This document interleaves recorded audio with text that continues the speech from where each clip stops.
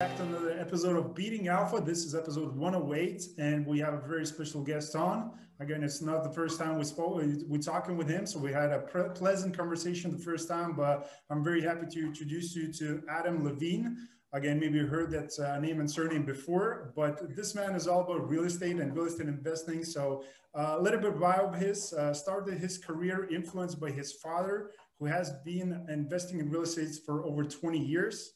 Adam holds a Master of Science in Property Management from Drexel University.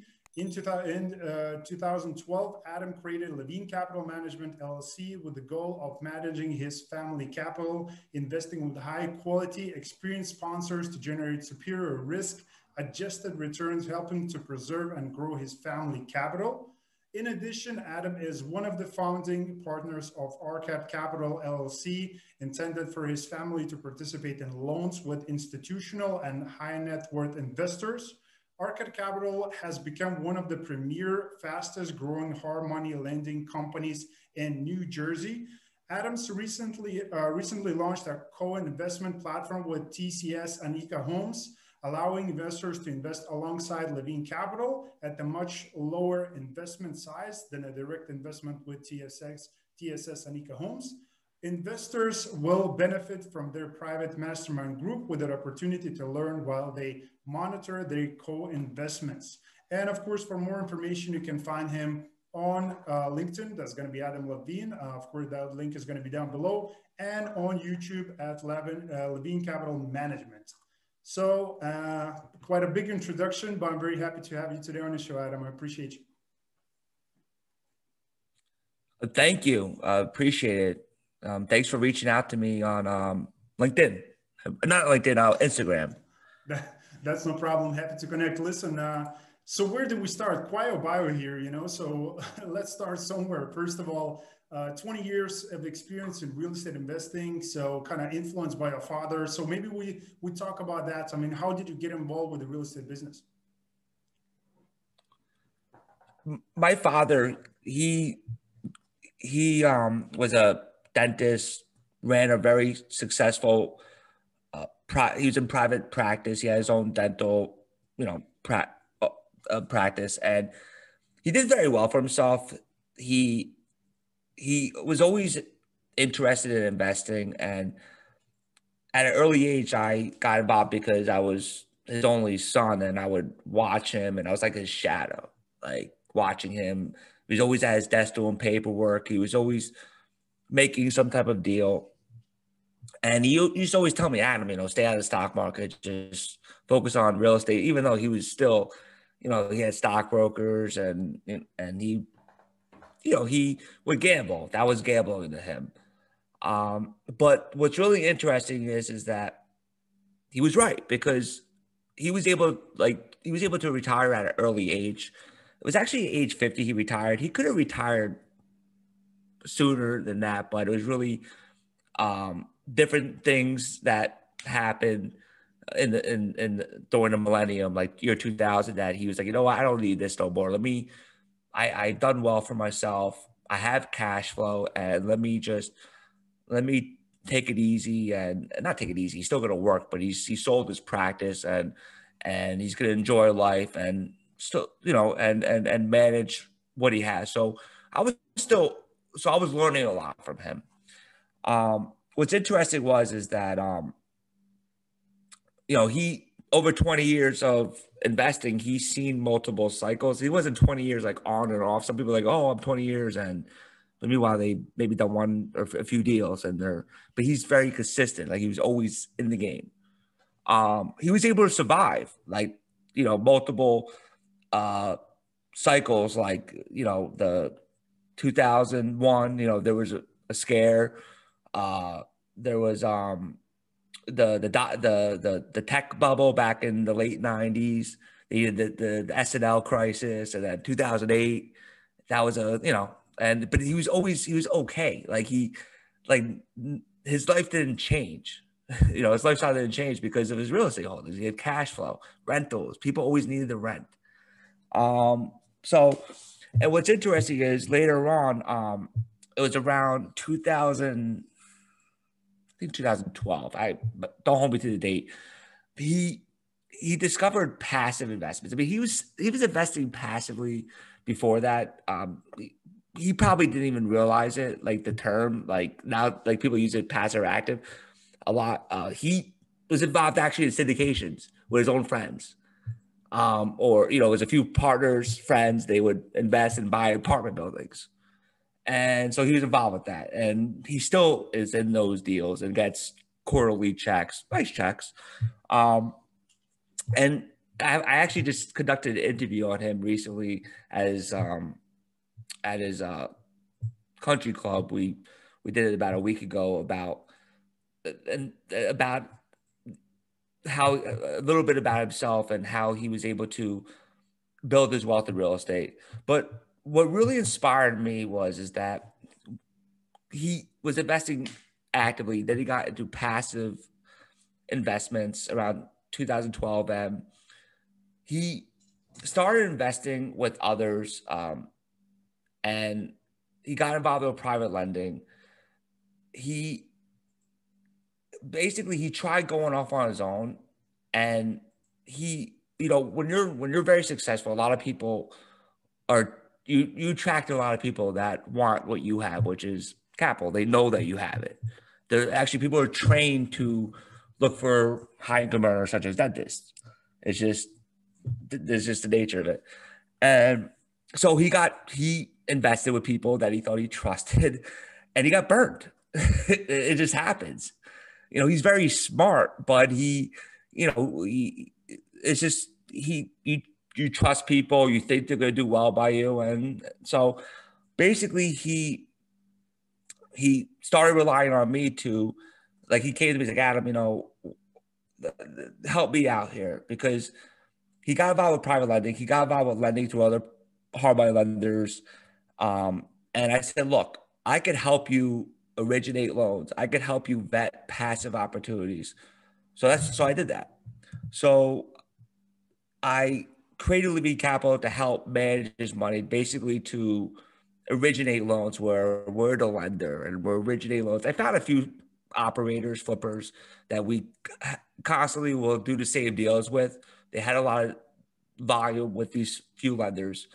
Um, I later discovered uh, that I could create our, my own hard money lending company. So I partnered up with a flipper.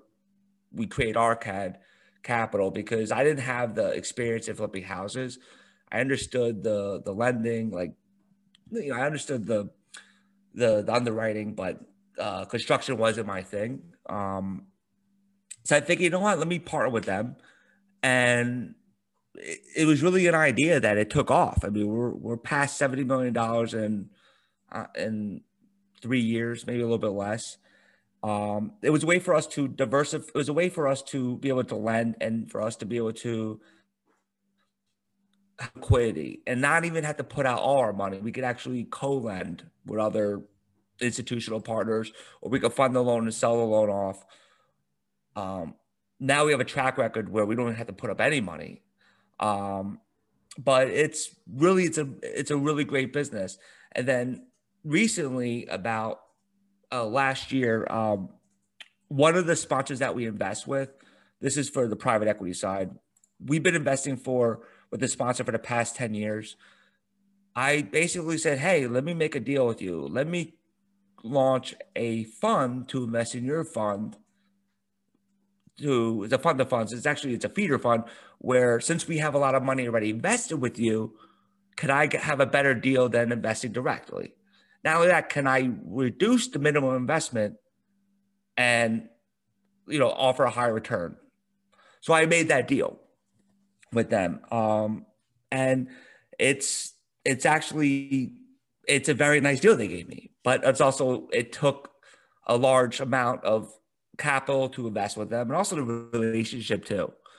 Um, so that I, I opened up last year, and then what's interesting was um, I can't disclose that sponsor because it's a it's a confidential arrangement that they don't want me talking, telling everybody what our deal is. Um, I mean, obviously I could tell you, but you have to sign a confidentiality agreement. Um, later on, I, I, I opened up the co-investment platform with TCS Anika Homes. Um, one of the managing partners, Daniel Edry, Um, I known him for about five years or so. Um, he comes from a background as a mezzanine bridge lender back in the 90s. Uh, he started it's family owned company. He, you know, he did very well for himself.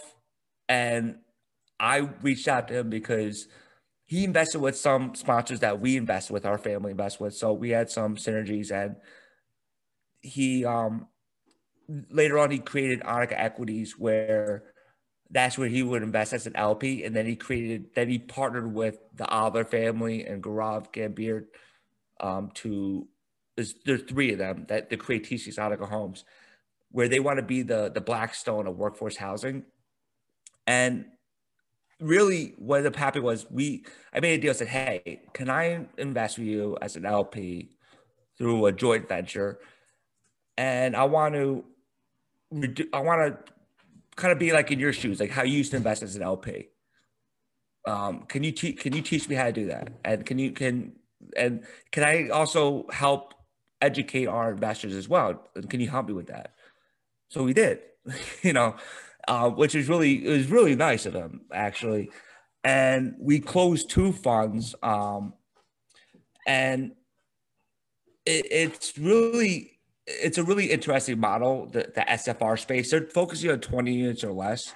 Mm-hmm. Um, and really it's becoming more of an institutionalized asset class because you have the Blackstones. I mean, they were the first to get into it, um, to take it to an institutional scale.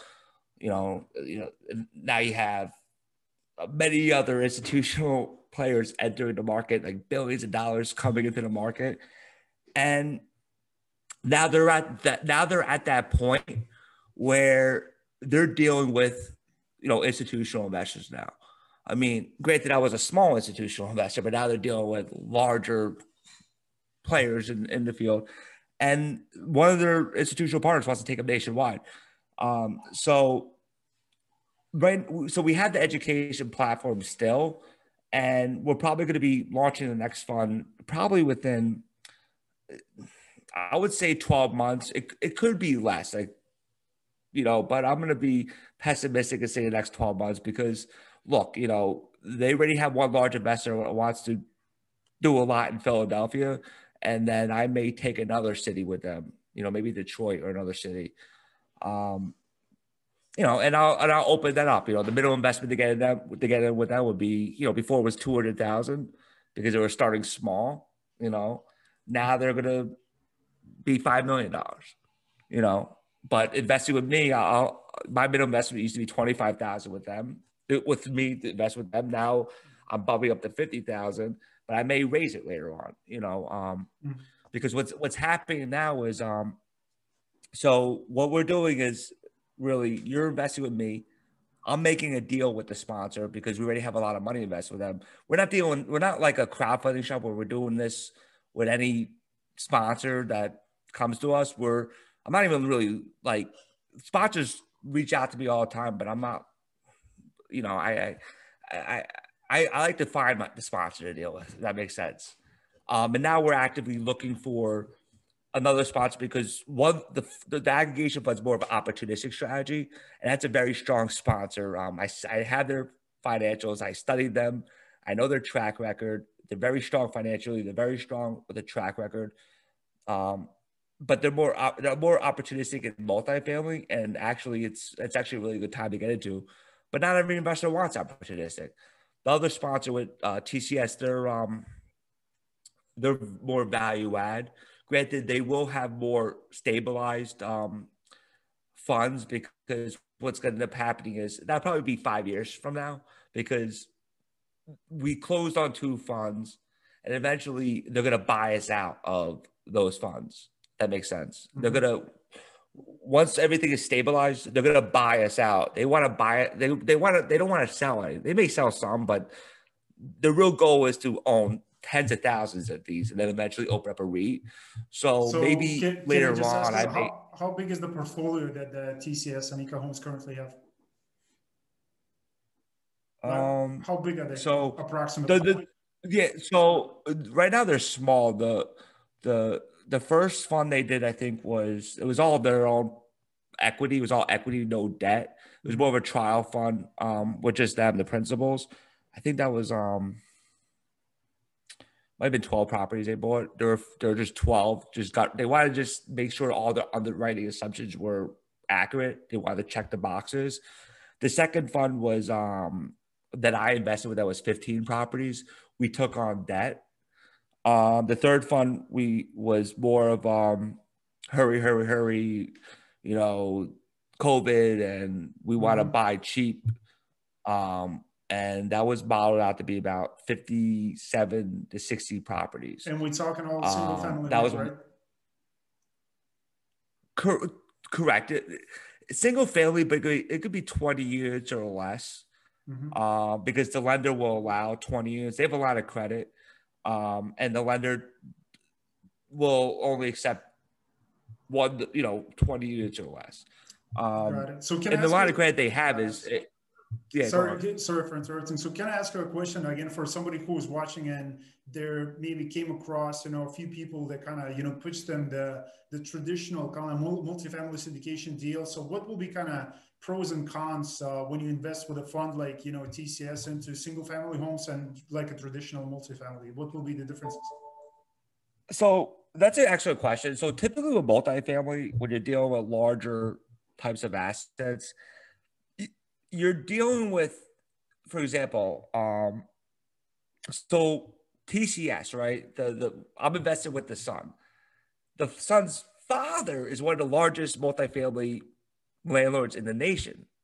Um, you can look up Gold Dollar Real Estate Investments. They're they own like 40 or 50,000 units. When they're going to compete, when when when when they're going to compete with Gold Dollar, Gold Dollar will buy at a very low cap rate, at like five percent, or typically that's who you're dealing with. When we're dealing with the SFR space, um, where in the markets they're in, they're more in affordable markets, but not they're not in um, the high end stuff. You know, more workforce housing, affordable. Their their their target is, I mean, they always want to buy. Right now, let's say it's a value add space. They want to buy with at least a 20 to 25% profit margin, but they want to go in at like an 8% or more cap rate going in. Um, the reason why they can get that is because they're not competing well, right now. They're not competing with a lot of the investors who are competing for these large multifamily assets are really driving down the cap rates. Um, they're that's what they're getting for. They're chasing more yield. Um, but granted, not anybody could pull this off. This is not like a simple thing. I mean, they're vertically integrated.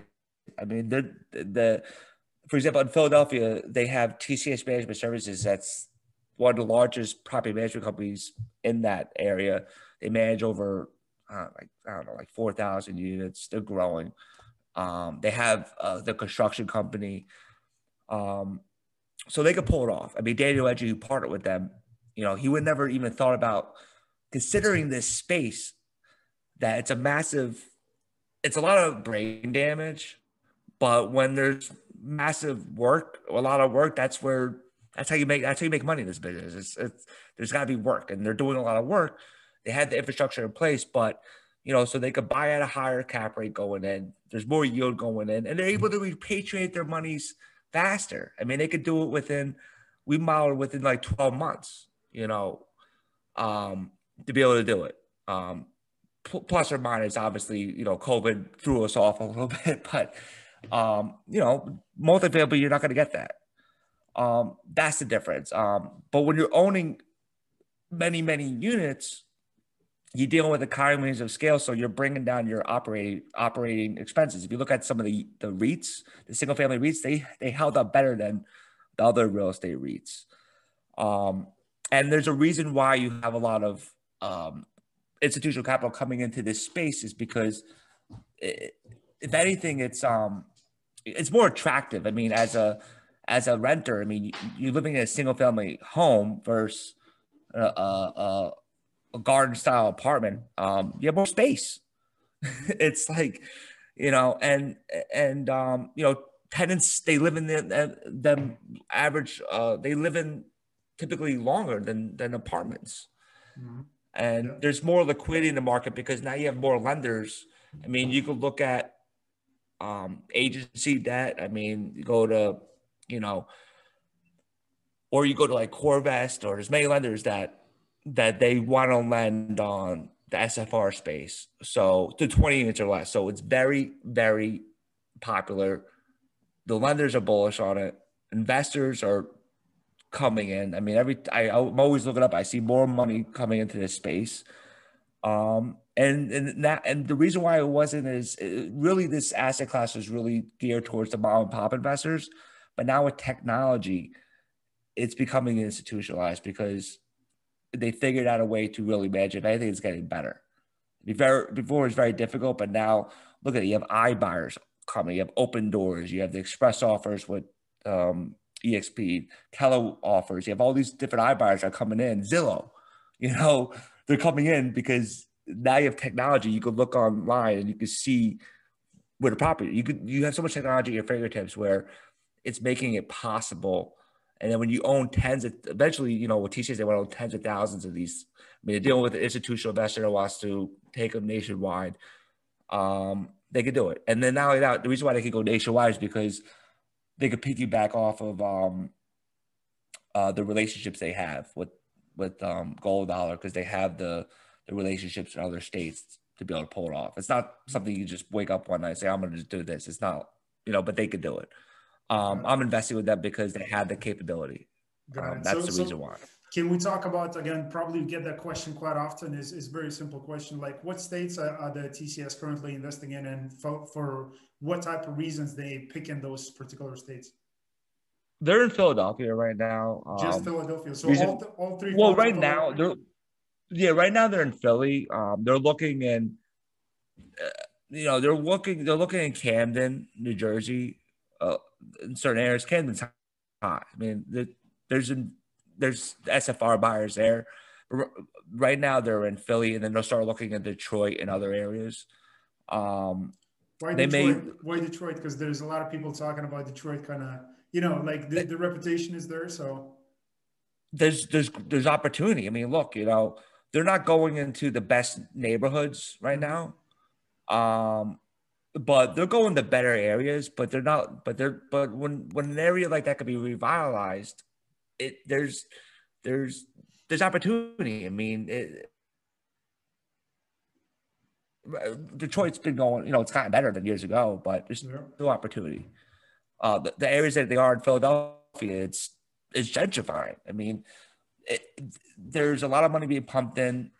Um, there's room for Im- improvement mm-hmm. you know so it's definitely um it's uh it you know it, there's a lot of opportunity there um but granted they're looking at other states because there's um you know there's uh basically uh this opportunity in other states they, they could actually they have the the the relationships to be able to go to other states Got it. Got it. So can we talk about Levine Capital, uh, of course, because you uh, kind of working with these institutional caliber type of, you know, real estate funds and like, how, how can we talk about how do you actually structure the deals and how do you allow people, because you mentioned a little bit, but how do you allow people and what does it take? I mean, at this current moment, and can you talk about what, what's going to happen with the fund in the future? Like what type of people can invest with you and what, what does it take for them to do so? Yeah. So I started out originally with my one feeder fund where they could invest as little as ten thousand. Um, I raised it to fifty thousand because, to be honest with you, um, it it it's a lot of work for someone. I want to help people, but uh, you know, it's just I'm I'm offering a lot, and and I realized I, I, I just want to raise the minimum higher because I didn't. There's a lot of cost and and to take in someone smaller, so that's why I decided to raise it. Um, to be honest with you, maybe when I grow, because right now we're a small shop. When I grow, maybe I'll reduce the minimums again. But I would have to have an IR team to work with with the investors. Right now, you're dealing with me. I had my partner uh, take him um, he's in career right now. Actually, he's um he worked for Goldman Sachs for over five years. Um, he has a master's in finance. He's a CFA, he's a CPA. He started working with me because he he eventually he got in with me because he wanted to learn, um, you know, more active to be active investing and and he invested with me in some of the deals that we did with TCS. I said, hey, why don't you partner with me because um, you have a skill set that that I that is tremendous. I mean, your background, your your knowledge, and and basically he's helping me um analyze and put and, and structure the deals. Um, you know, the, the I already structured the deal with TCS. I mean, not TCS um aggregation, but that's already been put in place. Um, but with TCS, he helped me work. He helped me put together those, uh, or the third fund at least. Well, fund two he invested in, but then he helped me with fund three, and he's gonna help me going forward now as a partner and also as an investor. Um, but really, what we're doing is uh, we're aggregation fund. My family invested a lot of monies with this one sponsor, and they're they'll offer me a higher preferred return. Um, that's really what they're doing versus investing directly with them. Um, typically, a high net worth investor or a credit investor is not going to write, you know, a seven, maybe they're not writing seven figure checks. Maybe they're writing a fifty thousand dollar check. Writing a fifty or a hundred thousand or a few hundred grand is not going to really get you a lot. You're not going to have a lot of control provisions, nothing like that. I'm not saying control, but you're not going to be able to like. It depends. Look, we could always structure deals. We could structure deals however we want. We could structure joint ventures and just as a not a fund, but just as a just a deal by deal. But um, but with we, we're coming in as an institutional investor, so we're we already committed a larger denomination. That's why we could, we could get a higher preferred return or maybe more of a profit split. If that makes sense. Um, that's what we're doing. You know, um, TCS. Uh, we came in as uh, we're smaller LP investors, uh, but I but I had the education with it, so the investors weren't really getting more of a return, but they wouldn't be able to invest directly with them because the middle investor was two hundred thousand.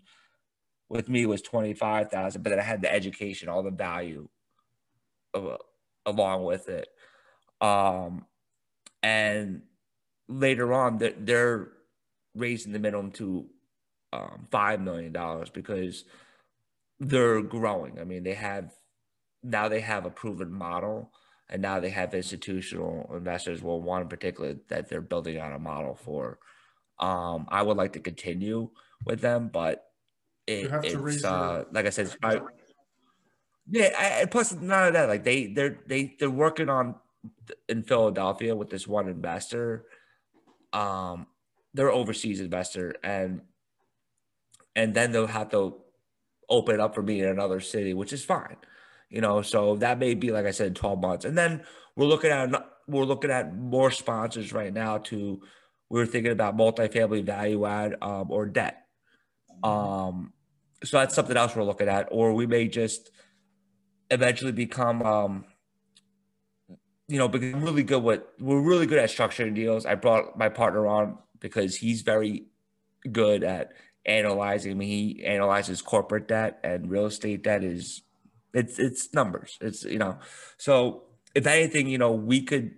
My goal is to not only cater towards the high net worth investors or credit investors, but I want to start working with wealth advisors because what what's happening is is uh we're noticing that you know, I'm talking to wealth advisors that, you know, domestically or overseas, um, that they understand, you know, they they manage money. I mean, but they don't maybe they they don't need me to make a deal. I mean, they could write a ten million dollar check or more, and they could make their own deal. What they're lacking is the expertise.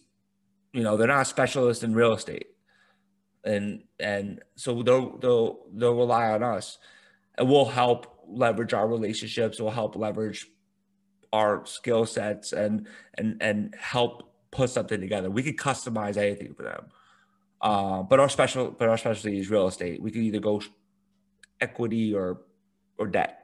You know, credit. We could if, if we could you know that's something else that we're we could do later on because I have the lending company and you know we could fund you know we could fund um other originators eventually and we could leverage you know and then and have a whole second and I don't want I don't want to keep it simple but we could basically uh, come in and and and and, and leverage our expertise and and funding originators and and um, bundling up the loans and sell, you know, securitizing the loans and um, it's a it's a whole other platform that I'm working on in the future as well. But uh, but that's why. I, but Taze uh, offers a tremendous amount of value in that uh, with me. Got it. So can you talk about you when you mentioned financing? Because uh, one of other businesses, kind of which is like integrated to, is Arkad Capital. Arkad Capital, if, I, if I'm saying that right. And can, yeah, can that's right. Can you talk about that? Because uh, we talked about it, and you kind of uh, provided these, uh, you know, loan programs for fix and flip, uh, you know, um, deals. So is that what you're currently working on, also, or, or like what, what is that business? Uh, you know, yeah, it's um, it's yeah, it's transitional lending, which is very very uh, the fix and flip, the you know the one to four family fix and flip, or ground up construction, or bridge loans, multifamily bridge loans. It's very popular. There's a lot of um, a lot of investors that are looking to.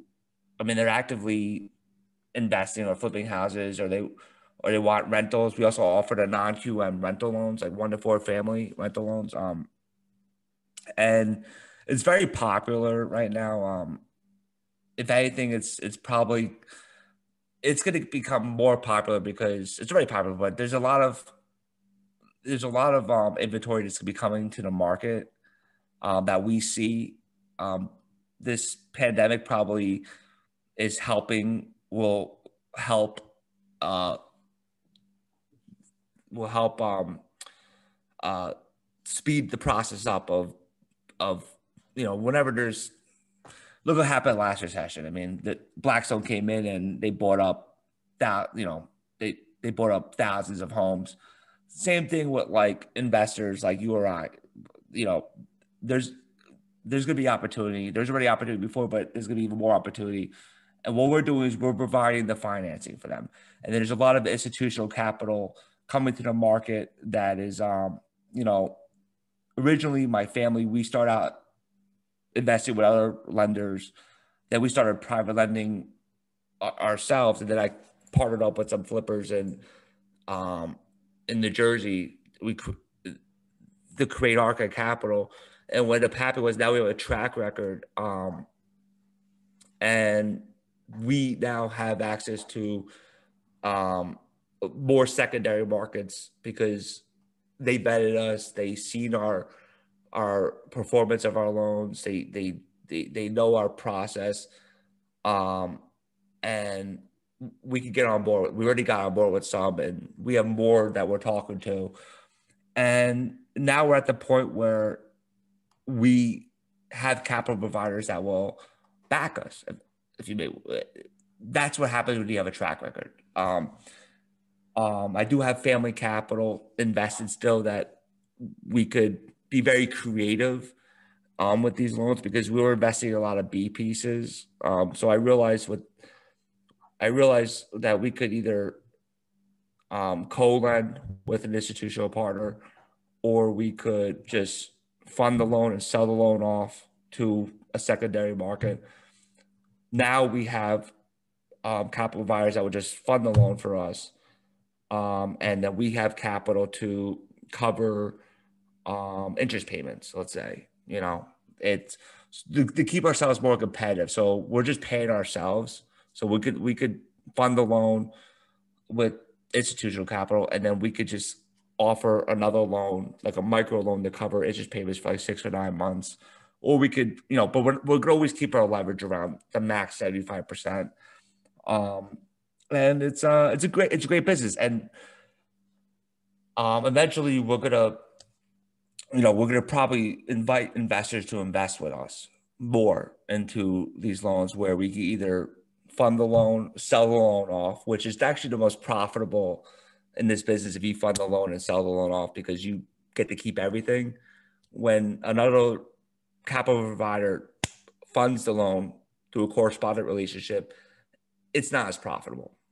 Um, and so that's why the opportunity is that we're going to be able to, where Levine Capital will invite investors to invest with Arkad, or Arkad's going to be raising money. We're going to be raising money, or or Levine Capital may invest with other lenders as well. Um, you know, and there's a lot of money coming into this market. There's a lot of money coming into this market, um, tremendous amount. Um, so it's a really great business. So that's probably my, um, that's where I see the, you know, it's, it, it's, if you, you know, it's a good, it's a good business to be in. Oh, definitely, and it's a good time to to be in that type of business. So, like overall, um, because I mean, we we just kind of talking about everything, kind of, you know. But there's, I'm, I'm sure there's some people who keep in the track of uh, everything that you just, just talked about. Kind of, I just want to touch a, few points here, like uh, Levine Capital, like management, like what what do you like looking for uh, like accomplished for that particular business this year? Like you, you mentioned, you you still doing deals, opening the fund with the TS, TCS Anika Homes. Like, so what's going to happen for for the fund this year? Um. So aggregation fund is we're still active. Um. You know, for for the for a little bit, I was kind of not really focused on it as much because I was really focused with TCS. I wanted to close out these two funds. So aggregate, aggregation fund is is open. Actually, I renegotiated the deal with them to get a better deal because my family we invested more. I have some more investors that invested with us, so I re- renegotiated the deal. Um, so that's open, fifty thousand minimum.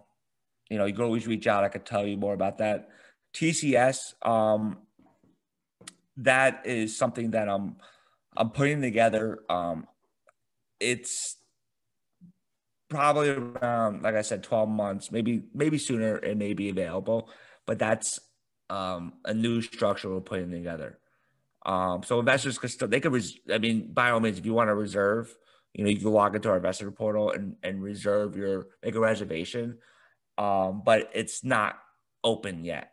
Um, you know, but uh, what the goal is to, you know, have at least five million dollars. Um, right now, we probably invested about a million ish in the first two funds, um, and then the next one it's going to be a, minimum of five million. Um, and is it going to be and the, and you can invest? Sorry, is it going to be on. the same? Is, it, is it going to be the single or family still, or is it going to be multi? Can you talk about because you talked about maybe looking for multifamily deals also? Yeah, so aggregation is majority multifamily, opportunistic. TCS will be single family, 20, but it'll be 20 units or less. Um, but the the the strategy will be um, is the only difference is is that the next fund that we invest in is not going to be Philadelphia. It'll be another state, maybe Detroit. So, um, and, and, the and, the minimum is going to be so sorry again, and the people who invest with you alongside in the fund, they're going to be structured as limited partners, right? There'll be a so the first two funds were just really people that were that you know the first one they were like me and two other friends of mine that I already had a relationship with. So we we kept it very simple. I didn't have to go through a whole structure. I kept it very simple. But it really depends. I may go. Uh, I may bring in partners who are limited partners. Um, uh, I may go a different structure, let's say, because I may go more towards investors who are outside of my inner circle. That makes sense, like friends and family, you know. But were, the first two funds were small funds. I mean, they weren't big funds at all. They were like myself and two other people. The first one, second one had maybe a few more. It wasn't really these weren't big funds. But now that I'm going to be doing larger raises, I, I may go through maybe the 506C route, Reg D route, or I may go 506B. And how um, they how are they going to be typically structured? You know, like well, what is the exit strategy you're looking to to put in for for these type of funds? Um, so the, these are um, they're five. They're five. We model out a five-year hold.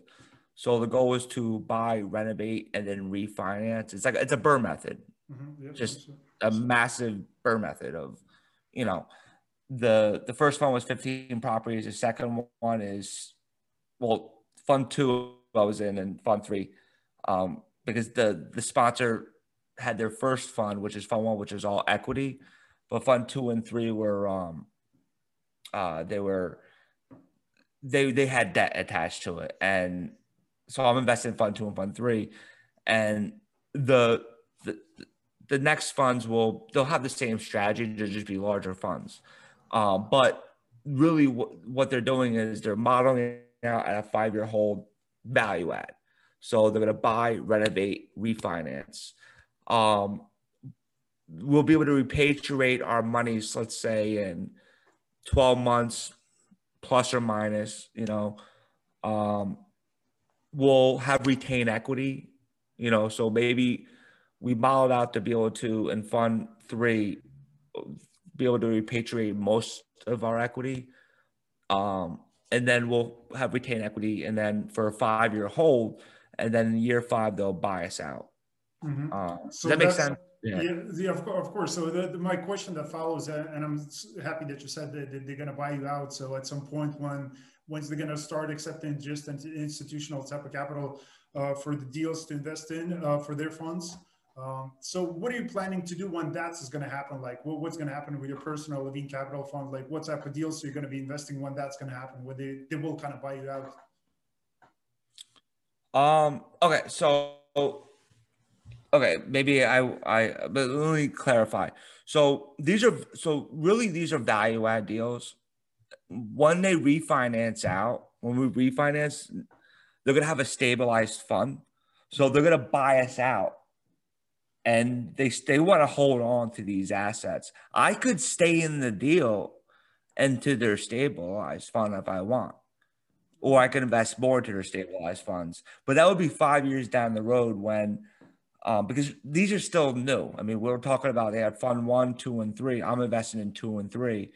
Um, five years down the road, they're gonna the exit is to buy us out, or they can sell it off, but most likely they'll buy us out, and then they're gonna have more funds because now they're they're after they fill up fund number three with the fifty something But that's, properties. sorry again, but, but, but that's not gonna be available to the public because they're gonna work with institutional capital then, right? Well, so so what I could do is I could make it available.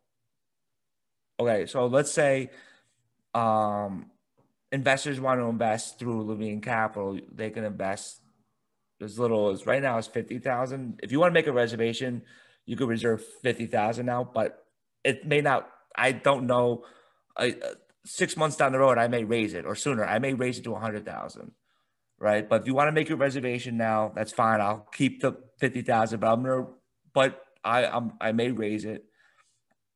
Um, the minimum invested to invest will be five million dollars, but to Levine Capital, it will be a lower denomination. So that's how you get in through Levine Capital. Um, the, that's really what it is. Will we be in the Philadelphia market? I don't know. Um, right now, I'm right now it, it may not we may not have that because they don't want to they don't they they have their one investor that's a larger investor in the Philly market and they don't want us competing against that investor that makes sense so they'll open it up to another market and most likely they'll have other institutional investors or that institutional investor may just go up from they has a lot of money they can invest so they'll go into other markets and then they'll give me something of it. They'll give me, you know, an opportunity as well, but it will be $5 million minimum, Got it. Invest. Okay, okay, so that's. which is fine. I mean, it's fine. Um, you know, you just have to aggregate $5 million. You know, it's perfectly fine. We do that. Okay. So that's Levine Capital. So talking, coming back to the Arkad Capital, what- like what's going to happen with that business? I mean, you're still going to, you know, get like provide the financing for fix and flips, and now you're looking to branch out different things and like, like where you are with that business, like what's going to happen with it? I mean, this year because you said you want to kind of get your hands deep in, in, into it because it's the right time. So what, what do you think uh, you're gonna you're gonna do yeah. with it this year? Well, no, right now, I mean, it's you know March we was a huge scare. You know, it everything shut down. We we took a pause on lending because I mean, you had, I mean, I mean, can you lend? Sure, but I mean, it was really no one knew what the values were on these assets. Mm-hmm. The securitization shut down, so there was no liquidity. If you lent on these pro- assets, you know, you may have this. There's a lot of problems in the market. Um, a lot of disloc- there's dislocations in the market, but um, right now it's very, very bullish. Um, there's a lot of capital out there. And my goal was to grow this business. Um, I have two other partners, which um, they're great partners, and the goal is to really grow it um, and and start. You know, Levine Capital will continue to invest with Arkad, and then we'll have other investors that can invest either through Levine Capital or directly with Arkad. Either or doesn't matter. You know, but we're going to start inviting investors to invest with us because we're seeing an influx of, um, you know, demand of borrowers, and we have liquidity, and really, um, you know, our capital is limited for be able so we can fund the loan and sell the loan off. It's limited to what we could do, so that's why we we're gonna eventually well we'll start raising money, you know, or we could hold the loans on our books, either or, you know, we could we could service the loans and everything and and do all that. So um, but there's there's a huge demand for it right now, um, and it's growing. And it's not because I'm here saying that. If you just Google what's going on, there's a lot of money coming into the market, a lot oh, yeah. of money, that, um, and, and rates are coming. Yeah, rates are coming down. The leverage has gone up, so it's kind of like a V-shaped recovery for private lenders, where like in March everything shut down and it opened back up, and the credit boxes are really tight and then now it's widening again. Mm-hmm. That's uh, the market's too. comfortable. That's what I heard too. I yeah, mean, people are talking about you know like the money's flooding the markets, and I do understand when you when you're talking about you know uh, institutional type of capital is flooding, you know private money because everybody is kind of looking probably to get rid of or at least to invest somebody into some deals that will provide you know passive income, some return on that investment. Uh, that will be you know leveraged against the dollar which like you know goes in value overnight like like every single day but uh, uh, so i love the fact so i think for the people who are going to be watching uh, some of the like i don't know who's watching and you know what type of investments are you looking for. Is it going to be to you know arkad capital or through levine capital? Like you know whatever businesses they they, they kind of looking towards do. But uh, i love the fact like uh, with the tcs anika homes that you provide the the the, the leverage is kind of the mastermind group and you teach the people like so i don't know what what, what is that? Because i would like to touch the point because i know that you have a book also on the website that we didn't mention that. Like but what type of education platform like people are going to be expecting when they give you yeah i got kicked, i got kicked off by the way. My apologies. Can you repeat? That's no problem. Look uh, so what I, what I mentioned is like i love the fact that when people can invest with you through tcs uh, anika homes that there is a mastermind group that provides the educational platform. So can you talk about that? What people should expect with that? I mean, what type of education do they getting when they're investing alongside with you?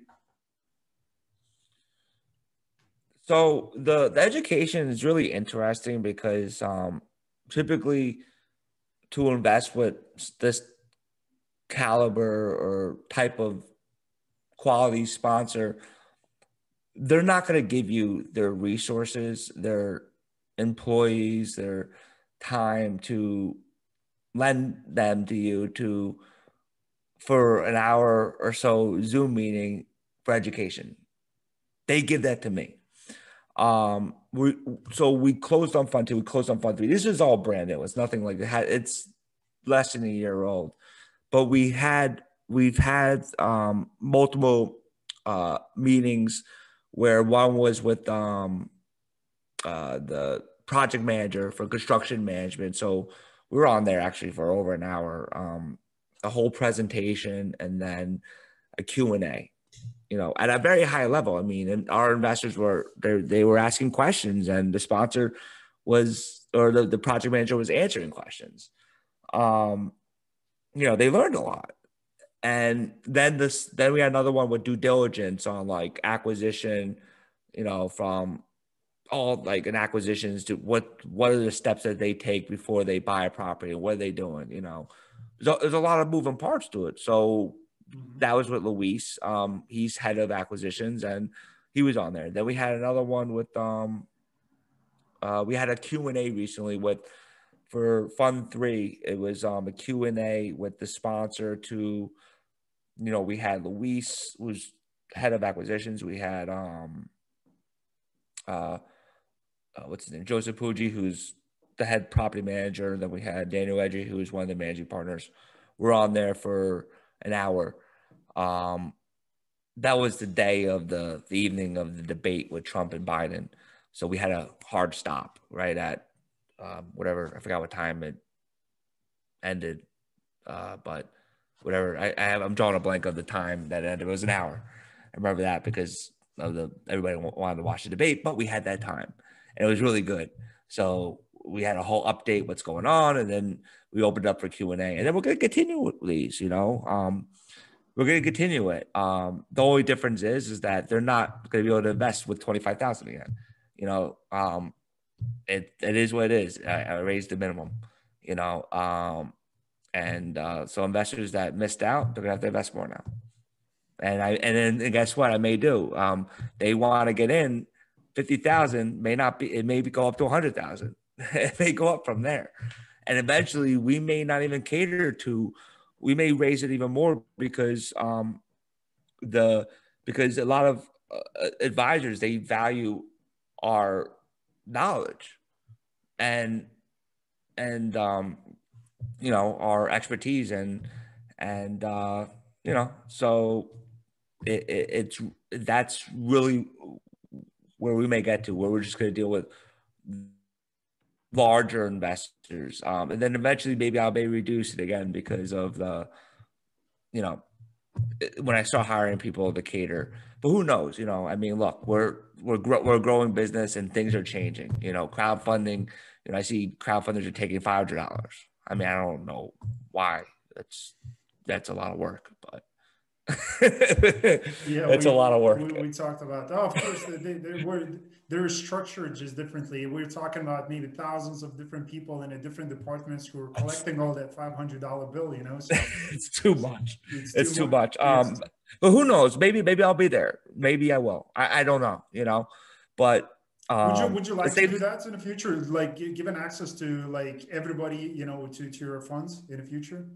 Of course, not not getting down to five hundred dollars, but um, like yeah, I mean, I, I'm not opposed to it as long as I have the infrastructure to do it, and technology will help, and I have help. I, I'm not going to say no, but right now, I'm I'm instead of reducing my minimums, I'm raising them because, like I said, I'm not I'm not a volume play. I'm not a volume shop where I'm just opening up funds after fund after fund. We're not. I'm not doing that. Um, I'm just not. I'm not. Uh, we're not really. I'm. I'm not structured that way right now. Um, but I'm not. I'm not opposed to. Opposed to having multiple sponsors and deals in the future, but right now we're we're very slow with the sponsors we're working with. It's just because there's a whole due diligence process, you know, and it's it's not like we're just we're, we don't have like a, a section on our website to raise capital you know, and you could come and well, that's not what we're doing. You know, I have our two sponsors, and then we're now we're looking at uh, one another sponsor, and that's a lengthy process because we have overseas investors that, let's say in Korea, that um, they want to see a minimum ten year track record. Um, they want to see a billion AUM, it, and and and um, so we want to make sure like if we put something together that it could cater towards um the domestic and international. But granted look i could always structure uh, that's for like a fund but we could also structure syndications as well or we could be creative later on. Um so the business model it's a that's a beautiful thing about this business because there's multiple there's multiple ways to there's you're not limited to just one model. You you like this concept started because of an idea of wanting to help my, you know, help other people because I saw the need of my father needed help and I see that other people need that help. And then I realized now there's wealth advisors that the wealth advisors that need help. And and then as things happen, I just come up with a solution. That's really what it is. So just a, uh, just a natural evolution of your business. That's all it is. That's it. You know, um, and and the markets are changing. You know, technology changes. You know, eventually real estate might go from the blockchain, and I don't know, like something that we'll have to, you know, you know. So technology changes everything. You know, and the good thing is like we have fund administrators. I have an investor portal. You go log in. You could, you know, right now you're dealing with me, um, or the sponsor. That's the really cool thing that we're doing is because, you know, you're you're signing a confidentiality agreement because of um some of the, the, the deals that I put in place or I want to keep confidential or they, they want to keep it confidential. Uh, plus also like I'm working very hard to put this together. So I don't want to just, you know, I want to keep it confidential. Um, but it, it's, um, you know, you can log in and you could you you can um invest and then you could see everything and it's really it's really nice. And then you could if you want you could ask the sponsor questions. So you're not just i'm not just you're not like investing and dealing with me. If you want you could go to the sponsor's office. You could call them up on the phone. You have that open dialogue. Mm-hmm. um and that's something that uh i to me i i i think that's important that for investors. I have some investors they don't care. They're like, I don't really care. I just want to, you know, they go up because they trust. But uh, but look, I don't I, I don't believe that you should be like look, some people um like my father, for example, he's he invested off a trust, but now he's you know, he he understands he knows the way I bet and he you know we communicate a lot, but he goes off of my um expertise and and you know we're not looking for more sponsors at this time. So he's investing with a few. Some people they like to constantly go on a crowdfunding platform and constantly see a new deal and they get attracted to the to the returns. And I, to me that's you're looking at the wrong thing. I would look at who's the operator. That's what i would focus on first once you find a few good operators you ready done your due diligence then why should you go to more like I'm happy with the ones I'm working with. Mm. You know, I, so I already can, have. Can, can you talk about that? You know, for the people again, how do you like? What is the process? What is like a due diligence process behind you know screening uh, an operator to make sure that he's good? So I have a I have an ebook that I could give to your audience that I created. Um, not an ebook; it's a due diligence um, uh, little little book, but just due diligence. I can give that for free. Um, awesome and really that goes through a checklist of things. I mean, like for example, I like to see um okay, so there's a few things, right? You can like what I realize is I'm not looking to for myself, I'm not looking to invest with someone that's new. Um my family or my father, he's done that before and it ended up you know, it, things didn't work out well, but it was a learning lesson. He's okay though. Um, but what I when when I'm helping him with the process, I I um I developed the process. I didn't just come up with it on my own. I spoke to a lot of people like like Daniel Edry or others in the industry and and find and and and learn and create my own method of vetting. Um, I like to invest with institutional caliber sponsors, meaning that, you know, maybe the deal we're in, there may there may not be institutional capital partners in it. Um, but they have deals where there are they do have you know institutional capital partners. Um, they have strong financials. Um, I know one of the spot. I know. I know that um, the track record has to be there. The financials have to be there. Um, you know, when the thing is, it's very hard to get those things unless if you're someone new, like you're gonna write a hundred thousand dollar check, they're not gonna open up their book to you. I maybe they will. Um, it depends on the sponsor, but you could ask for more when you write a larger check. Um, so I'm looking at. I like to look at their financials. Um, I want to see their fin- I want to see what they have. You know, I want to see um, talk to references. I want to like talk to references. I want to um, see the type of deals they've done. I want I don't want to be their first rodeo. Like you know, they're looking they they start out flipping houses now they're a syndicator and they're doing like you know they're doing their first deal on their own. Meanwhile, they invested with other syndicators, but now this is their first deal because you know they signed up for a course and they learned how to syndicate and raise money, and now they're coming to me. That's not the person I want to like. I want to work with someone that's has a certain AUM. Uh, they have the track record. They, you know, um, TCS. They got a line of credit, a fifteen million dollar line of credit from CoreVest. Do I need to see their financials? I didn't really. I, I didn't ask for it. I mean, I because I knew that kinda, in order, I saw. Well, they had. The, I saw the term sheets from CoreVest, and I know the rigorous vetting process that CoreVest put them through. Yeah, that makes sense. And I and I knew the people I'm dealing with. So when I I didn't have to look, let me see the book. So I I look, I I, I knew what I was dealing with. That makes sense. And plus, these are new funds we're dealing with. Um, um, but I, I it wasn't like I, I had a, different relationship, you know.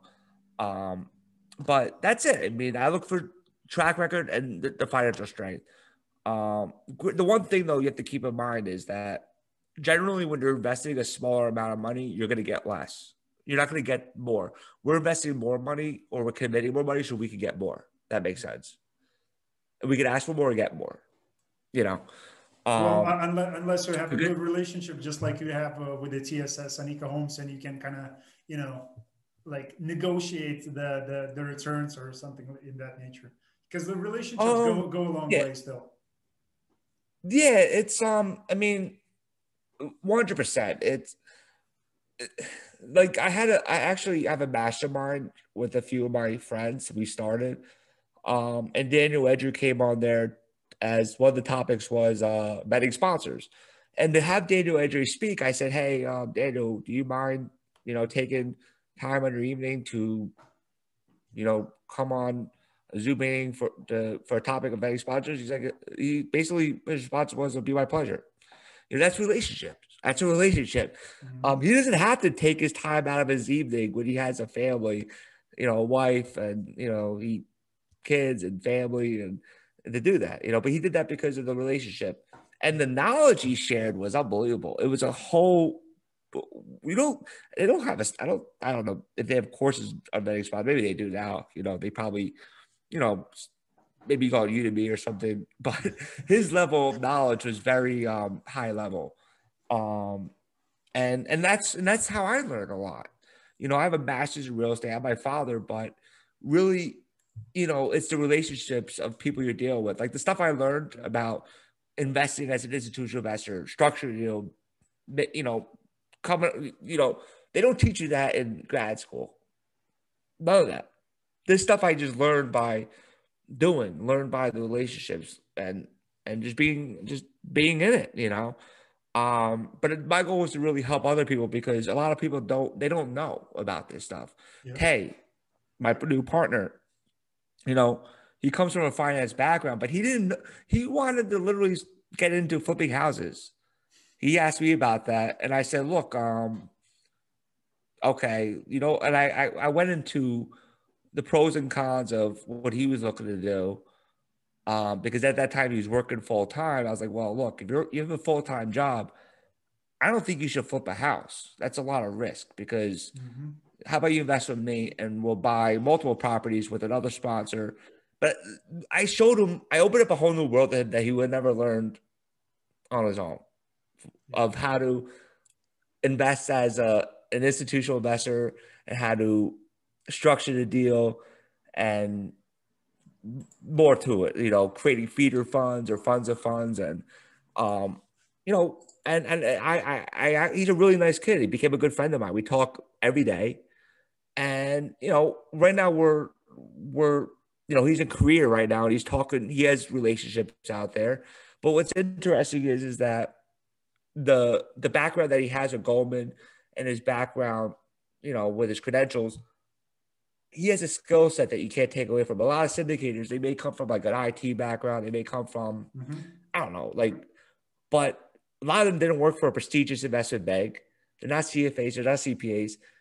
I mean, they may have experience, but you know, or look, they and this personality, this person, he, my partner has a very good personality, amazing person. He's a very nice person, good heart. That to me, and, and I know he has integrity. These are good. These are things I look for also in a relationship. I don't. You can be the smartest person, but maybe you're not a good person. so I want to work with you. I, I mean, so that that's stuff you got to watch out for. So to me, integrity is a lot. Um, and I know that with his skill set, I saw something in him. I was like, you know what? I I could work. I want to work with you. Let me bring you in as a partner and help me grow this thing.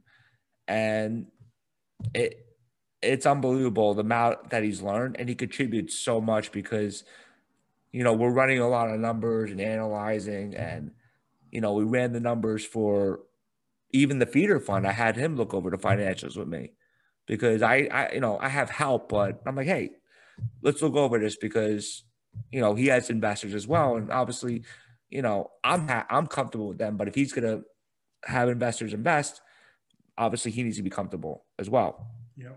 And yeah.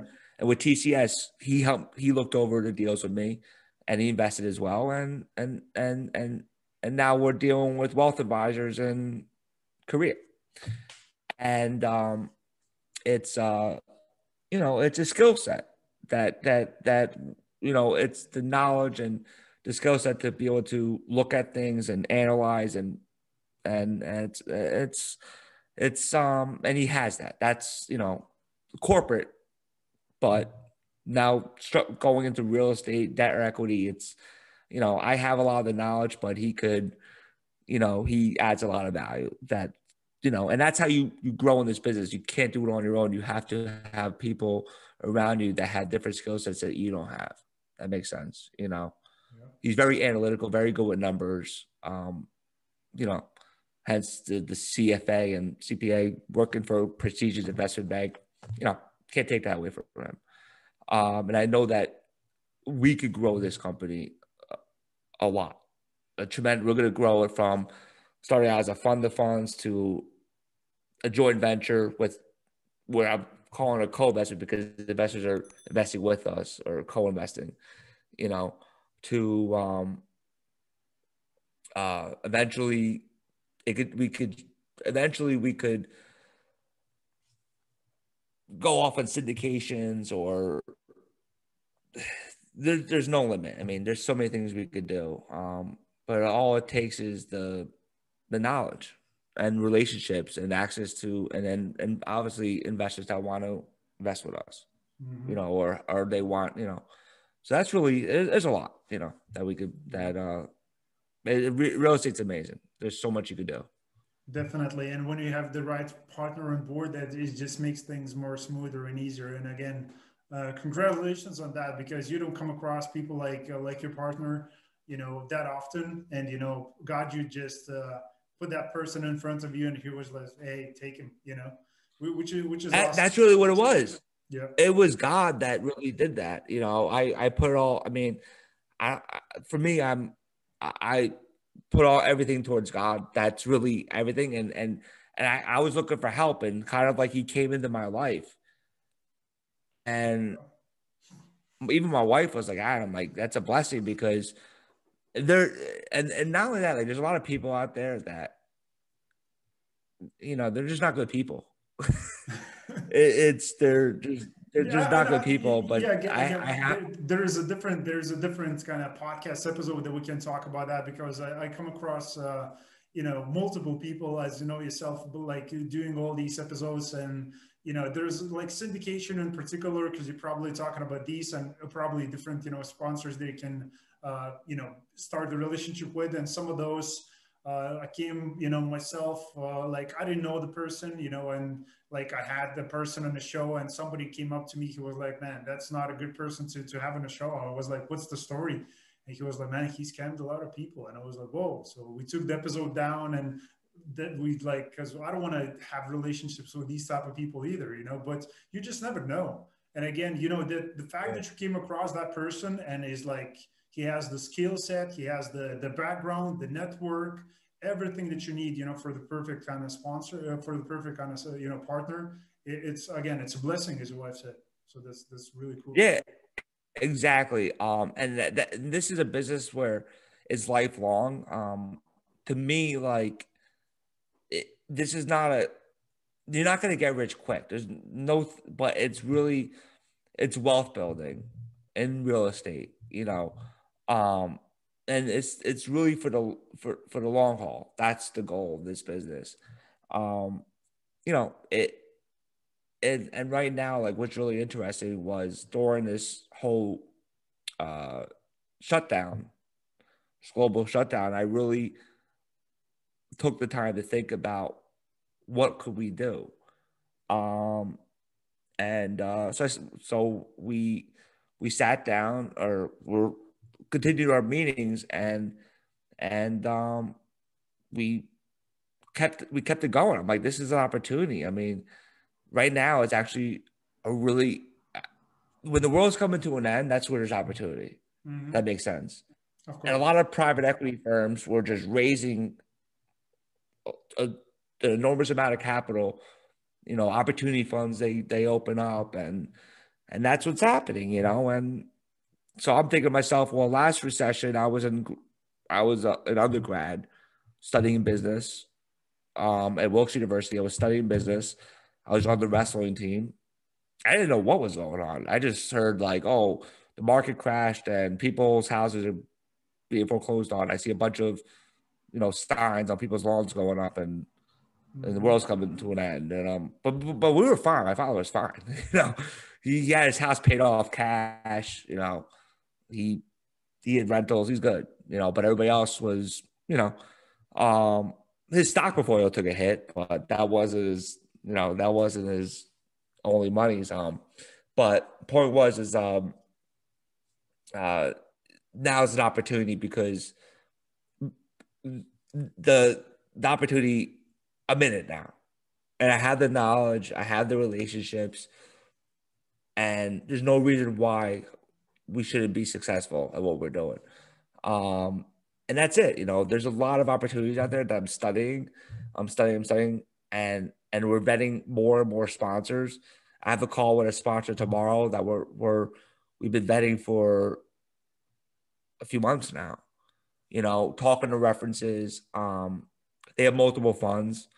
Um, and that's it, you know, and, and and just keep on setting up calls and building relationships because at the end of the day, maybe this one sponsor, we may not be interested in their strategy now, or maybe they don't have the track record today, but that doesn't mean they're not going to get there tomorrow or like years on. Maybe they're on five years, but 10 years down the road, in total, that, that may be someone, you know, we will so go with. Keep keeping the relationship going.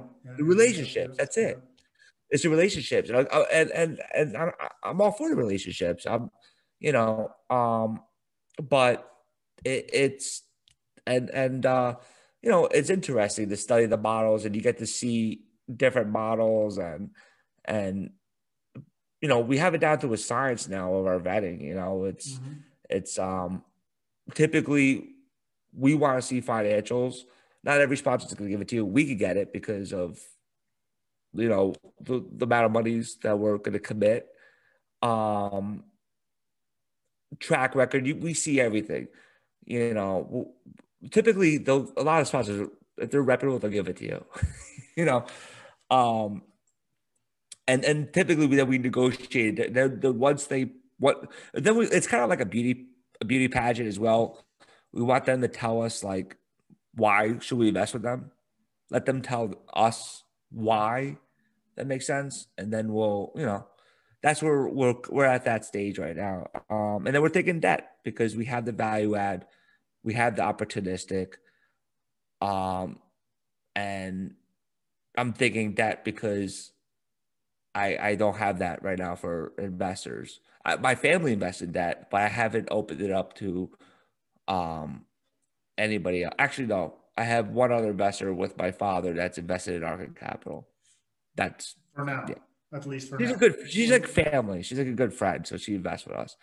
But um, but but, but soon, soon soon it's going to be opening a little bit more to the public also. Yeah, exactly. The only difference is the tax. You don't have the same tax advantages, so there's just yeah. pros and cons. Like with the private equity, um, you know, you have more tax tax advantages. Um, with that, you don't have it. So mm-hmm.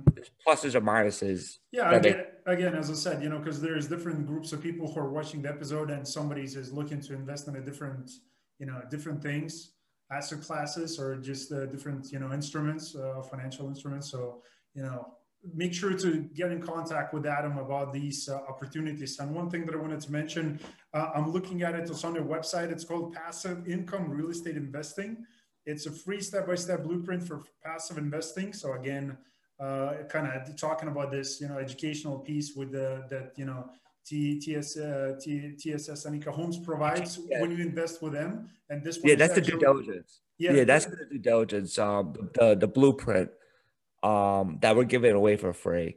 Eventually, I'll have an ebook. Um, but you know, this is all stuff that we put together, mm-hmm. and we use it and, I, and obviously like it there's more it's a good start but like if you have questions you know we're always open to helping people out. The whole idea is just to we just want to help people um and I, I see a need. I see a need of um you know like just going to like different RIAs or di- different meetups I, i'm always like have my my scam alert thing going off in my head because everybody is looking for something.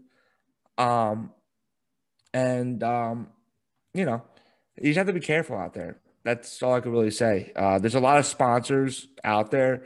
You know, you could Google real estate investment and boom, you're just searching your phone or computer and you have all these pop-ups. Everybody's looking for something. I'm not saying these are bad sponsors. They actually can be amazing sponsors.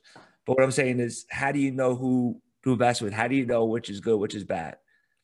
It it's hard to know, you know. That, that, that is the main question because there is a lot of again. We if, if we're going to talk about single family, you know, uh, portfolio funds, or if it's going to be multifamily funds. I mean, if we're going to look at these different asset classes, some of those, of course, if we're going to look, you know, multifamily versus uh, single family, there could be different returns, you know, on cash or, you know, like uh, equity multiples or, you know, hold periods and all those uh, type of things.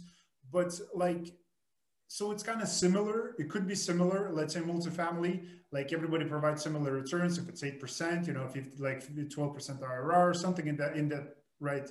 But like, how do you vet the vet the operator? That's kind of the main thing. And I love the fact that you have the book for people to kind of go through the steps because you know everybody is kind of giving these terms but as you say like how do you know who's the who's the right uh, you know partner for you to partner with and you know give give the money that you worked hard for so that that's something 100% and and and another thing too is like people don't realize is like what I learned is like a sp- the sponsor is everything that you should be looking at. Don't get excited about the numbers. Like what I learned is I want to look at the sponsor first, and I want to bet them first, then I'll look at the deal. That makes sense because going the other way around, it's a waste of time, a complete waste of time. And then the, these numbers are just projections. I mean, it's whatever, you know. I mean, yeah, pro forma. You could you could pull different financial triggers to, to, to make the IRR go up by increasing leverage, repatriating money faster, and you know different things could change things. You know, mm-hmm. um, so you know, and, and the, there's a saying, you know, a good sponsor could save a bad deal and a bad sponsor could ruin a great deal. So, and, and another thing too is like, you know, syndication, everybody's talking about syndication, syndication, syndication, which are, they're nice. I mean, I had some deals come my way. Um, but what's interesting with funds is a whole other thing I talk about is you could, you're diversified in the multiple assets. So like instead of being heavily um heavily uh and focused on one particular deal, or it could be an apartment building, you could have multiple apartment buildings where one's not as performing as well, the other ones will offset yep. the bad performers. So you're di- diversifying your concentration risk. Granted, they could be semi semi blind pool funds, meaning that the sponsor you're investing with with TCS, it was a bl- it was a semi blind pool fund because, well, fund number two was it was um it was a fund, but we already the, the sponsor already identified the assets, the 15 properties. Fund three was a semi blind, meaning that we had the acquisition criteria. We knew what we were getting, but we relied on the sponsor to find to to do everything. You know, leverage their relationships, their their track record, experience with the to get the financing, to get the best terms, you know, they're everything, you know, but and then you have blind pools, which is uh, my aggregation fund. But the aggregation fund is more of a blind pool, but they're a top sponsor. Um, you know, they, you know, they tell you everything they're doing, but it's um, but uh, it's you know it, they could they could they have different strategies, you know, that they could go into opportunistic or they can even go into the structured credit if they want to, which it may be available. So it really depends. Um, or syndication. I mean, the benefit of syndication is you know what you're getting into, but um, that's it. You know, and and there could be, you know, there could be, um, uh, you know, there could be, um, how do I explain? Uh, uh, you know, you're, you're, I had it happen to me where a deal came to me. It looked like a decent deal. The sponsor was a good sponsor. They're a family office. They're looking for investor to come in. I would be investing as a, I want to, I would structure it more as a joint venture, but the timing was too soon. They needed to close like in November. And that's not enough time for me to make a decision or to get our investors on board with us because we would have to have our investors agree to it. That makes sense. You know, it's not something quick, but that, that was like a, like 500 something units. It was like, there's multiple it was a syndication, but uh, as a fund because they had multiple apartment buildings that they were going to pull together. So it was a syndication, but multiple property. Which to me, that's actually you're spreading out the risk.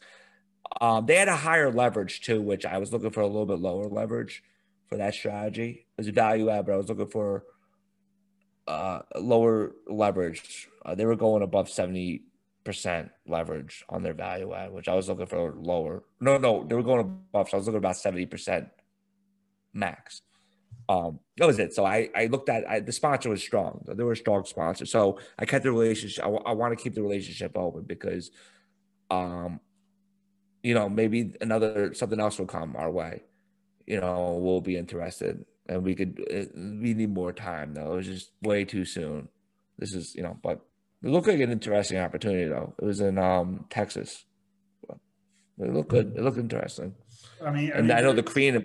You, you, you guys you guys are so lucky, and again, that that's why you have the attention of the you know like uh, Korean market again, the, the, where your partner is at, you know, and like there's so much uh, you know foreign capital coming into the states because you have uh, so many available states uh, that you know are doing super well, like you mentioned, the Texas, Georgia, you know the Carolinas and you know Florida and again I'm not sure because you know like I'm not from there and I'm sure you know the TCS do their own kind of due diligence on the market and by investing in Philadelphia and Detroit you know they they they buying properties in there. We have so many different states offering these great uh, you know investments. Even though like you can find a great investment within a state it could be you know two blocks away and it's going to be a completely different return and completely different kind of area so so I mean, there's so many different opportunities. If we like, especially during these times where people looking, there a lot of people and companies are liquid, and they're looking to put to pour that cash into you know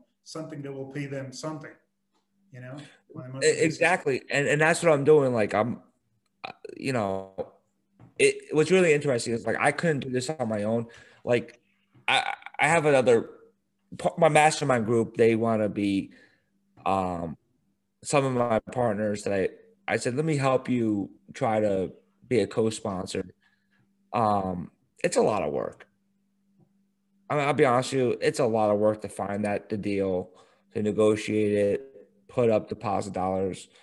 You're spending money because it ain't free to to do due diligence and meanwhile when you're working with a good sponsor they're going to get the deals the best deals. Yeah.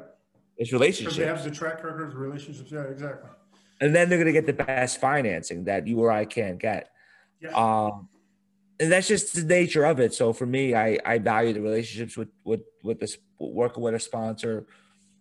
You know they're do they have and i had people oh they have a lot of fees. I mean they got to keep the lights on and you know the amount of work that it takes to do what they're doing you know it so people some people are like oh i'd rather do it myself. Good. How many houses you gonna buy? You're gonna buy one house or few or you, are you gonna look to buy a hundred of them or yeah. you know he's gonna or, he, he or she is gonna manage himself like tenants toilets termites all these you know things that coming up. You get phone calls at night and you know it's so there is advantages disadvantages you know investing passively and having active deals you know and being kind of your own landlord you know and doing the small deals. But i mean it, it's coming back to the point like how big do you want to go in and like what is your investing strategy? You want to be active or do you want to be passive?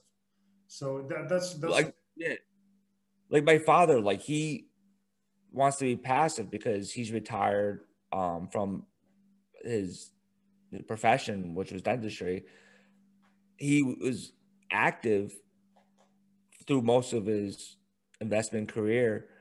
Um, but he's just tired of being a landlord. He's tired of, you know, even though he has property managers, he you still have to deal with tenants because the property manager is going to call you up or send you an email about a situation that you need to probably write a check because there's damage or whatever it is. There's always something. And he doesn't want to deal with it no more. He doesn't want to deal with it. As a passive investor, the sponsor does everything. All he cares about is how much money do you want? What is it doing? And what am I getting back? That's it. You know, he doesn't care about, oh, well, there has to be an eviction and now I got to deal with this. And, oh, there's some type of sewer pipe, some type of pipe that broke, and I got to deal with this, and I got to write a check, or I got to call up this insurance company to, to deal with this, and I got like. There's always like you're, you know, you're working. You know, he so now he wants to sell off a lot of his assets. He, I know he's trying to sell his office building, and he wants to sell houses that he owns, and you know, and and different things that he manages, and he wants to just be passive. Um, Um, granted, he has a better setup than most people because he has me to help him, which really, you know, but not everybody. I'm not saying that I'm the only person to go to. There's other people out there you can rely on, you know. But if you don't, if you're not that smart, find someone that's smart with integrity, someone that you that look. There's a lot of smart people, but obviously you gotta be able to trust them.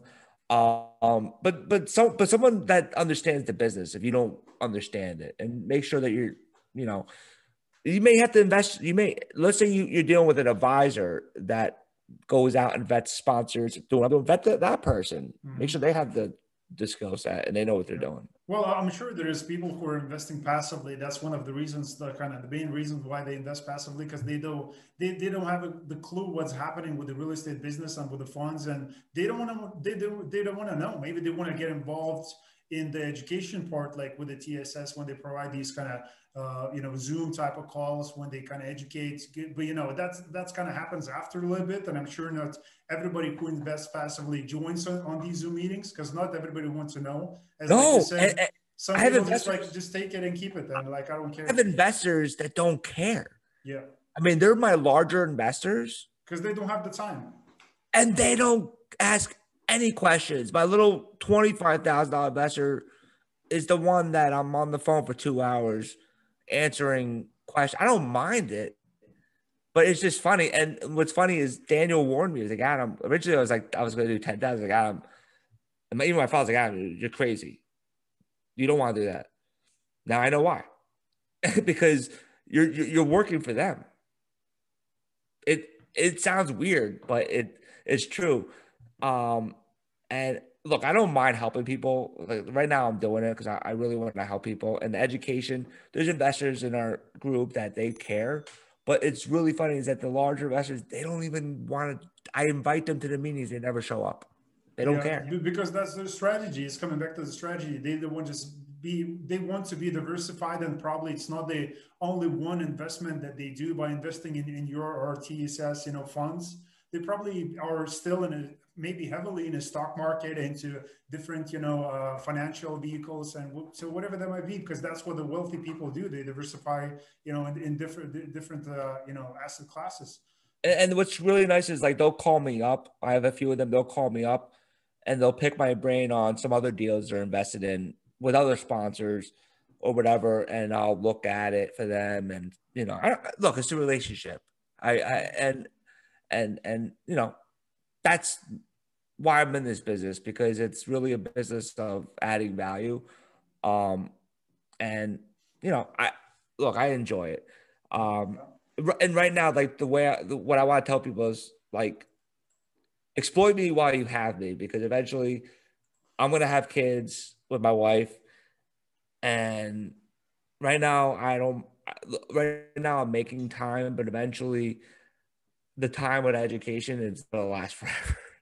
It's it just I it just physically it's it's a lot of work. Um, and I don't mind doing it right now. Eventually, I wouldn't mind becoming a professor as well, like a, an adjunct professor, um, where I could give back to the students and you know, um, but so for me, this is a way to teach people of what we're doing, and we look at numbers and. But I just when I have kids, I'm gonna have less time. If that makes sense. When I grow this thing, I'm probably gonna hire people so I could do less and outsource, and then you're not going to have me as much. That makes sense. You'll be dealing with someone yeah, that works yeah. with me. Definitely. That makes, so, oh, of yeah. course, of course. So make sure make sure to get in contact with Adam while you can, and of course those those links are going to be down below. And and for another reason, because you might heard blink blink. You know, there's uh, his father is looking to sell off some properties and some offices. So make sure to contact with these type of deals because I'm sure there's going to be some you know, uh, syndicators or operators or, you know, small investors who are looking maybe to purchase these type of properties. Of course, I'm, I'm just kidding, you know, but uh, it, has been a great fun. And uh, of course, like, you like you, like the wealth of knowledge that comes from you i mean it's immense. And i know that you can go for another two three hours because again that's that's what you do. That's your passion. You're looking to educate people at the same time you know like help them to invest in a deal you know passively uh, and that way earn some income which is a great way to be you know invested in in, in real estate. Like it's a great vehicle that worked for 100 years before uh, you know, so so it's really cool. So you know, like, and that's what I want to do for you guys for watching. Make sure to grab the book. Again, educate, get get start to get education about you know how to vet the sponsors. What it, what does it take? Is Adam is the right person to invest with you with? Make sure to grab a book and and, and you're gonna find out. But uh, Adam, I appreciate your time. It's, it's been yeah. a pleasure talking with you today. Absolutely. Look, you know, um, you could find me on the website, Levine Capital, LinkedIn, Instagram. You've had me on Instagram. Um, what else sources? Bigger Pockets, uh, TikTok. I'm not really. What's interesting about TikTok is um, this famous DJ is like, um, they're renting my father's house, and uh, so like a, a very large house that he he was gonna sell, but he's renting to them because you know it's a nice rent he's getting, you know. Um, but he but he his business took off on TikTok. And then I'm talking to other people, they're like, ah, you gotta get on TikTok. I'm like, um, I don't know, but I'll look into it more. I was thinking that the whole the whatever the, all the all the political stuff. I that's why I kind of didn't get involved in it to be honest with you. Right, I, yeah, yeah. I want to keep my privacy, but maybe yeah. it's worth giving up privacy for what for you can get. I don't know. For some TikTok videos uh, that gonna be entertaining, uh, I'm, I'm pretty sure. So so soon soon we're gonna see Adam on a TikTok. So make sure you, you follow him on Instagram and LinkedIn and keep yourself updated before that's gonna happen. Yeah, if you ever need anything, you know, you could shoot me a uh, was it the DM a DM on Instagram, um, Facebook message, um, yeah, LinkedIn, yeah. Bigger Pockets. I'm accessible. Oh yeah, know? oh yeah, and, and, that's what that's what we connected because you know I, I, definitely can can you know tell like how easy Adam is is in reach right now. Well, at this moment, while he's still available, because as he, as he said, he's not to be like that forever. So make sure to do that to contact him and ask these questions uh, if it's you know investing you know through him through the you know Levine Capital into some you know single family like funds or if, if it's through you know Arkad Capital and what he's doing with the financing and just make sure to get in contact because at the end of the day look it's it's almost been like two hour interview but tremendous amount of value, like a lot of great information for you to take away. But the key thing is for you to get in contact with the people that you're seeing on this interview. So, you know, I want you to get in contact with Adam. And of course, all these links are going to be down below for you to do so. Yeah. And then um, let me know for um, your, I guess, uh, another topic when we talk about this is kind of like a broad overview, but, yeah. you know, I could, I'm sure next time I, I jump on here, I'll have we're gonna narrow something, down. Yeah. I'll narrow down something that I'm really doing, you know, because I have a lot going on. Oh yeah. A lot to talk about, but hey, I love it. This is like a passion. And when you love what you're doing, it's not work. Exactly, exactly. That is awesome. That is awesome. So, okay, guys. So, one thing that I wanted to ask you before we're going to go if you share this episode with a friend of yours, uh, the person who kind of always talks real estate investing but never pulls the trigger never you know like lacks the sources the information this is definitely going to be a great episode for that person so make sure to share that with with that person and uh, adam again i really appreciate your time. It's been a tremendous uh, you know amount of knowledge information and good time speaking with you today. So i really appreciate it. And guys and girls as always i will see you in the next episode